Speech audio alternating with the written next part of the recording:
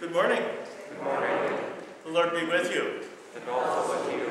Welcome to Mount Olive on this uh, beautiful spring day, uh, third Sunday of, of Easter. And uh, bulletin announcements are printed for your benefit. I'd like to make a spe- special note that we are having a voters meeting uh, beginning after the second service, starting probably about 11:45, um, and I believe that's going to be in the fellowship hall. Um, and you are welcome to attend. If you're not a voter and want to be, you attend one meeting, and at the next, at the second meeting, you are registered as a voter. Um, Rest of the announcements, I think, are pretty self-explanatory. One good piece of news is that uh, we are looking to install our new video system this Tues, starting on Tuesday, so we'll see what happens with that and how that goes. Uh, Hopefully, we'll have it ready to go. And our first hymn is uh, Crown Him with Many Crowns.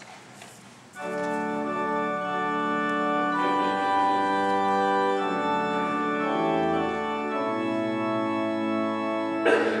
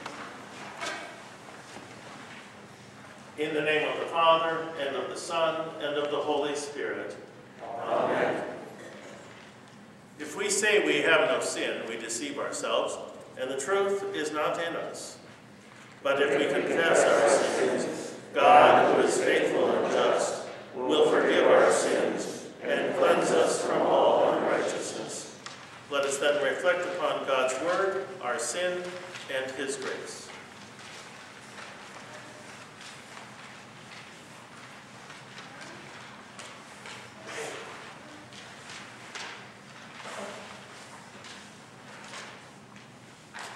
We confess our sins to God our Father. Most merciful God, we confess that we are by nature sinful and unclean. We have sinned against you in thought, word, and deed, by what we have done and by what we have left undone. We have not loved you with our whole heart. We have not loved our neighbors as ourselves. We justly deserve your present and eternal punishment. For the sake of your Son, Jesus Christ, have mercy on us. Forgive us, renew us, and lead us, so that we may delight in your will and walk in your ways to the glory of your holy name. Amen. Almighty God, in his mercy, has given his Son to die for you, and for his sake forgives you all your sins. As a called and ordained servant of Christ and by his authority, I therefore forgive you all your sins in the name of the Father, and of the Son, and of the Holy Spirit. Amen. In your presence there is fullness of joy. At your right hand are pleasures forevermore. I will extol you, O Lord, for you have drawn me up, and have not let my foes rejoice over me. O Lord my God, I cried to you for help, and you have healed me.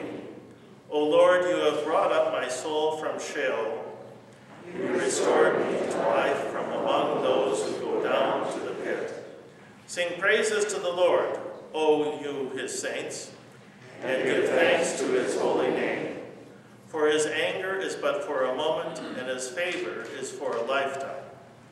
Weeping may tarry for a night, but joy comes with the morning. Glory be to the Father, and to the Son, and to the Holy Spirit, as it was in the beginning, is now, and will be forever. Amen. In your presence there is fullness of joy. And at your right hand are pleasures forevermore. The Lord be with you. And also with you. We pray. O God, through the humiliation of your Son, you raised up the fallen world. Grant to your faithful people, rescue from the peril of everlasting death, perpetual gladness and eternal joys. Through Jesus Christ our Lord, who lives and reigns with you in the Holy Spirit, one God,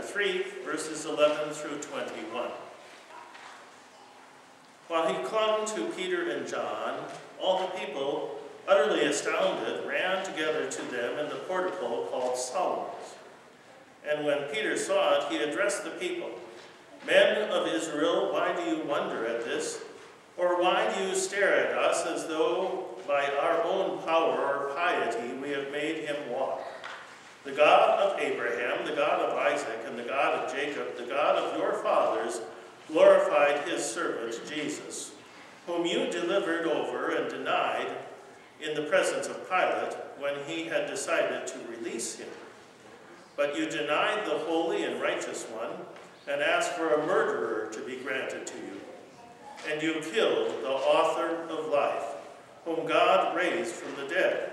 To this we are witnesses.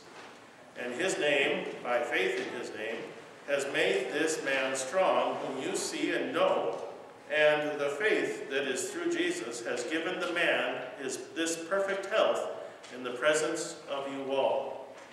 And now, brothers, I know that you acted in ignorance, as did also your rulers.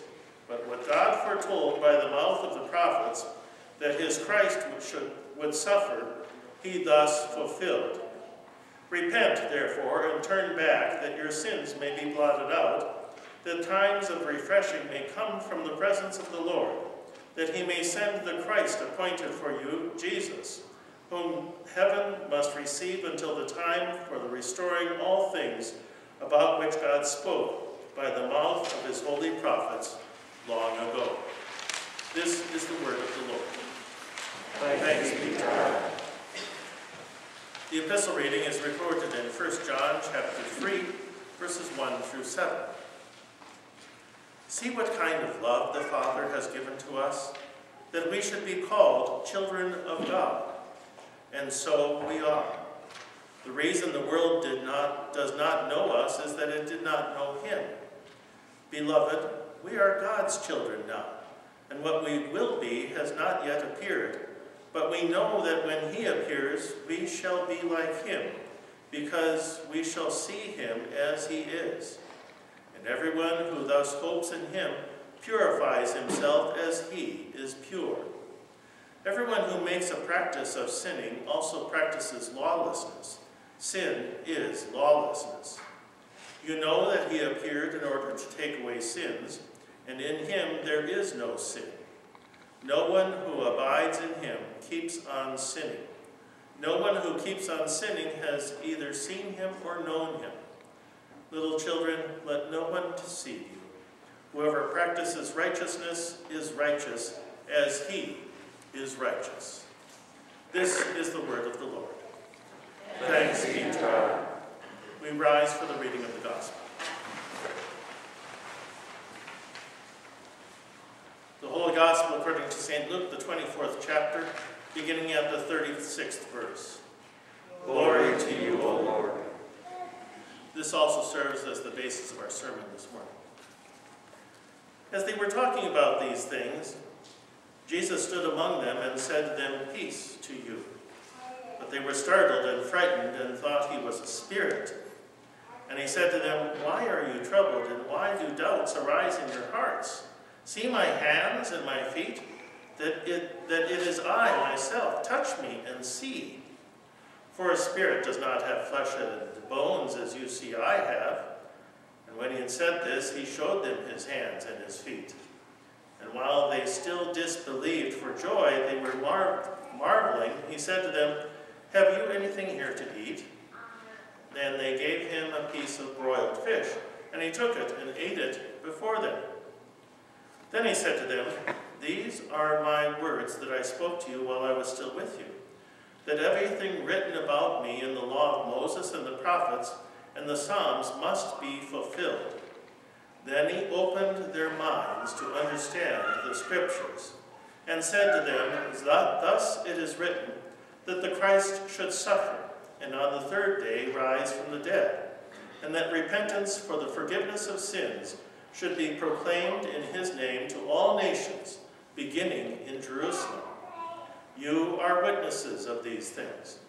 And behold, I am sending you the promise of my Father upon you. But stay in the city until you are clothed with power from on high. This is the gospel of the Lord. Praise to you, O Christ. You may be seated as we sing Love Divine, All Loves Accept.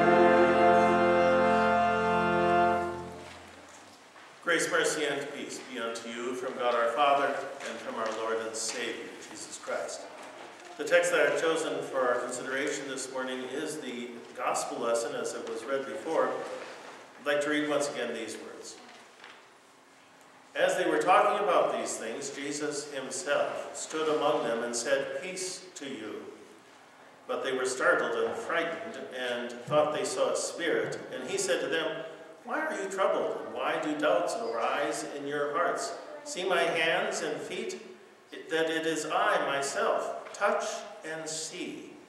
For a spirit does not have flesh and bones, as you see I have. And when he had said this, he showed them his hands and his feet.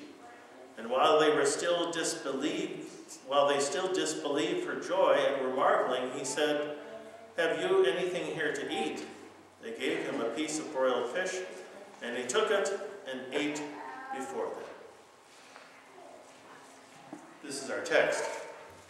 Dear friends in Christ, we know that Easter is an amazing and wondrous day.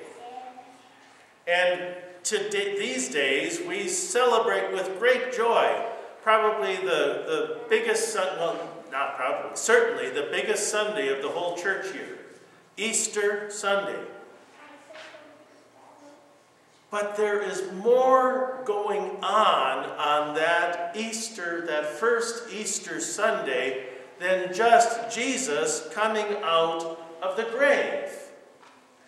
We see, of course, we see the women going and finding an empty tomb. We see a couple of disciples racing and finding an empty tomb. We see an angel in the empty tomb proclaiming he is not here, he is risen just as he said. And that's most of what Easter, most of the Easter story that we hear. But a lot went on the rest of that day. Just before our text, one of my favorite, all-time favorite passages in Scripture, Jesus is walking down the road to Emmaus with two disciples who were dejected and depressed because they had just witnessed the death of their master and Lord. And Jesus opens to them the beauty and the wonder of the truth of all of the scripture of the day, what we would call, what we call the Old Testament, and the prophets and the promises that it contained concerning especially the events of those specific days. How the Christ would have to suffer and die, but that he would rise again on the third day. And then that moment, as the disciples are sitting down, they had invited him in, abide with me, fast falls the evening, eventide. There he is with them. He breaks the bread, and their eyes are opened, and they recognize him for the very first time of that day, and they see that he is alive, that he is risen, and then boop, out he goes, disappears. And all of a sudden, he's back, a two hours journey back in Jerusalem.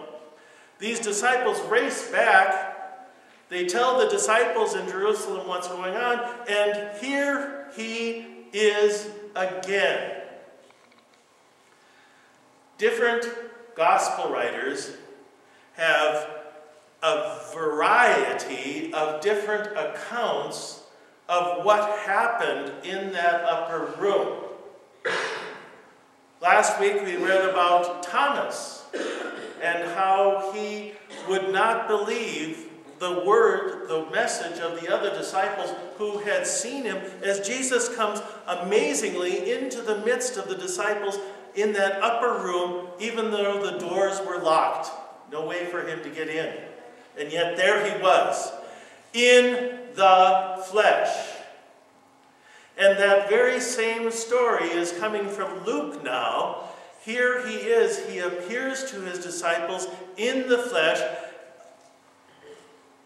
And what does he say?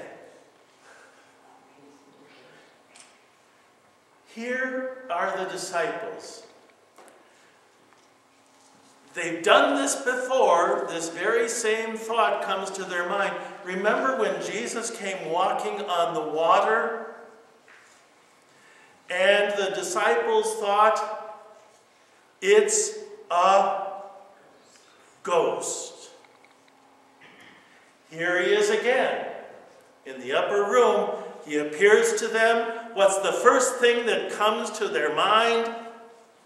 It's a, our new translation says, spirit.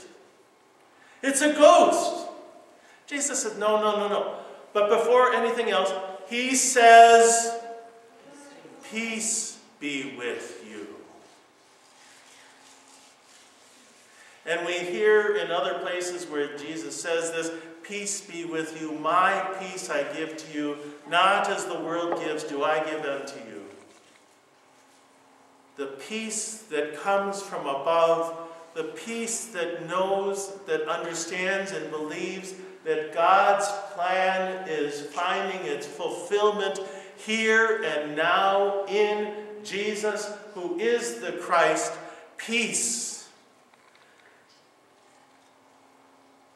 Be at peace. Be at rest. I have confidence that all is well. And then he says, Look, it's me. See my hands? See my feet? The nail prints? Oh, and by the way, do you have anything to eat? I get a kick out of this. You know, if it were us, we'd probably give him a piece of pizza or something. But they happened to have broiled fish, and they said, Here. And he ate. Ghosts don't need to eat. As a matter of fact, you know, all the cartoons, a ghost eats and boop, it goes right through them. They doesn't work that way for a ghost. But Jesus ate the food that they gave him and demonstrated that it is him. He is, is risen from the dead and now will live and reign to all eternity. The disciples are still soaking it all in. And then more and more and more come in, those, in the events following that very first Easter. Even on that first Easter evening, we read in Matthew, he breathes on them, gives them the Holy Spirit, and charges them with the authority and the responsibility to forgive or not forgive sins according to the need of the person that they're with. The authority to forgive sins. The Jews of Jesus' day thought only God could forgive sins. But now the disciples, and through them, all of us in the church, and especially the church itself, has that authority to forgive. And then in another place, he says, Go and make disciples of all nations. Here he says, You are going to bring repentance and forgiveness to the whole world, beginning in Jerusalem.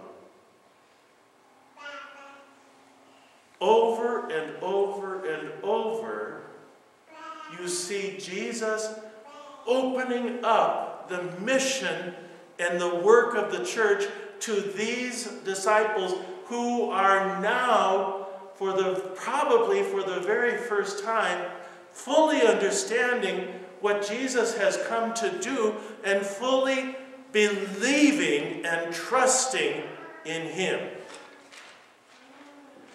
Believing and trusting in Him.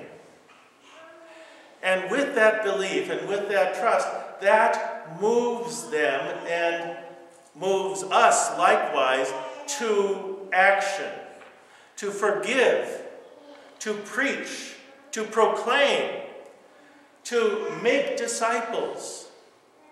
Remember that famous verse, Matthew? Go therefore and make disciples of all nations. How do you do that? Baptizing and teaching the mission of the church is there in these post Easter moments and days. Jesus is giving us his walking orders. This is what shall happen now because I am risen from the dead. It is I, it is me, myself, in the flesh. It's not just a spirit, it's not just a ghost. I am here for all people, that believing all may have life and life eternal. It makes a difference. And that very first Easter, we see it all coming together. Can you imagine what it must have been like for the disciples huddled in fear in that upper room? Jesus comes into their midst, still in fear, and then he opens their mind to the scriptures. And all the pieces fall literally into place. And all the mysteries of the Old Testament, of the prophecies and of the promises, all make sense to them. And the wow factor that must have been going on in their hearts and in their minds as they see now for the very first time God's whole plan of salvation and how all of it is fulfilled and completed in the person, in the work, in the suffering, death, and resurrection of our Lord Jesus Christ. Having given, having given his, the walking orders to the disciples, they have extended that, those walking orders now to us. We have the task of carrying out or carrying on the mission that Jesus gave to his first disciples. We now have the scriptures not just on scrolls locked away in some synagogue, but we, we have the scripture in your hand. Some of you have it on your cell phone. Let me ask, how many of you have a Bible on your cell phone? Okay, talk to me. We're going to get this taken care of. Because there's an app. There's an app for that. You can have the Bible like a gazillion translations English, Spanish, Italian, German, Japanese, Korean, all those on your cell phone. And anytime you want to access it, guess what? You've got your Bible right there in your pocket. Because we carry our cell phones everywhere, right? And anytime you need the scripture, it is right there. God's truth, God's promises are all right there for you to have and to use on a daily basis. To have and to use, not just for your own benefit, but as you carry out the mission of the church in this community and in our world as a whole. God is at work in his church even today. For guess what? We are. I almost made a mistake. We are Good Friday people because we preach Christ crucified. But we have an Easter smile because Christ is risen from the dead and we have something to tell your friends, your neighbors, your family, and the world. Christ is risen. He is risen indeed. Hallelujah. In Jesus' name. Now may the peace of God that goes beyond all human understanding keep your hearts and your minds in Christ Jesus our Lord. Amen. We rise and confess our Christian faith in the words of the Nicene Creed.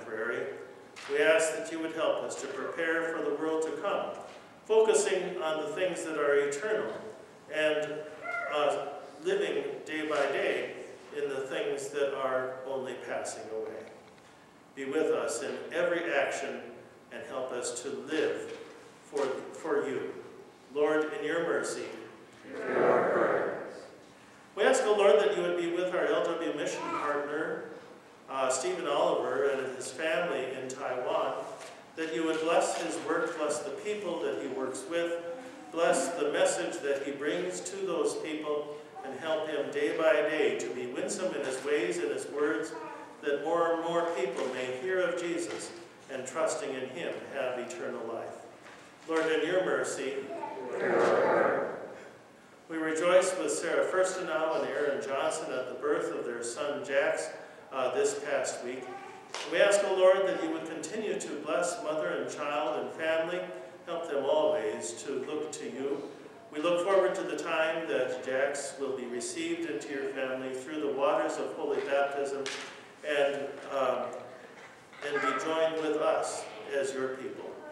Lord, in your mercy, Amen. These things and whatever else you would have us ask, grant for the sake of your dear Son, Jesus Christ our Lord, also taught us to pray. Our Father, who art in heaven, hallowed be thy name. Thy kingdom come, thy will be done, on earth as it is in heaven.